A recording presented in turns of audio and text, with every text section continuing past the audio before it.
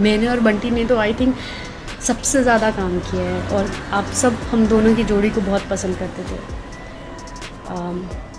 भगवान उनकी फैमिली को हिम्मत दे बहुत झारखंड के सुपरस्टार कहे जाने वाले बंटी सिंह हमारे बीच नहीं है। जी हाँ उनको लेकर एक्ट्रेस सुप्रिया कुमारी ने एक, जो कि काफ़ी इमोशनल पोस्ट शेयर किया। कहा कि बंटी और हमने एक साथ कई जगह अभिनय किया, और बंटी और हमारी जोड़ी, जो कि दर्शकों को खूब भाती थी। लेकिन बंटी का अचानक चले जाना विश्वास ही नहीं हो पा रहा। जी हाँ दोस्तों, आप तो जानते ही हैं कि झारखंड के सुपर डांसर और सुप्रसिद्ध अभिनयकर्ता और एक सुप्रसिद्ध कलाकार जो कि उनका निधन हो गया। जी हाँ दोस्तों, अचानक ही जब ये खबर आई तो पहले तो कुछ मीडिया कह रही थी कि ये फेक खबर है और इसको ना फैलाओ। लेकिन उसके बाद ही जैसे ही ये खबर आई, लखन सोरेन ने बताया और ये खबर जैसे ही फैली, उनके फैंस को काफ़ी गहरा झटका लगा। चलिए दोस्तों चैनल को सब्सक्राइब कीजिए।